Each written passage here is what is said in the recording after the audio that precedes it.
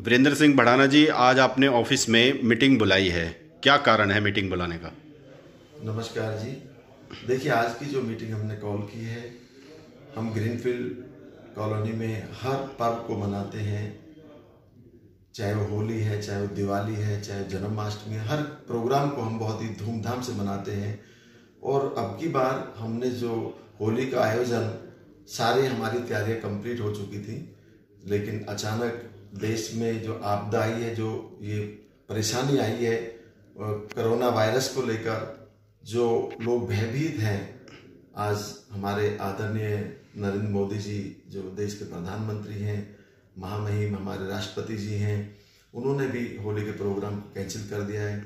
हमने सभी बातों को ध्यान में रखते हुए इस होली के पर्व को हमने कैंसिल कर दिया है, कि देश में जिस तरह की आपदा आई है, और दूसरा एक कारण ये भी रहा है कि दिल्ली के अंदर जो दंगे हुए हैं, जो हमारे भाई वहाँ पर जिनकी मृत्यु हो गई है, जो मारे गए हैं, उनको भी ध्यान में रखते हुए हमने इस प्रोग्राम को स्थगित कर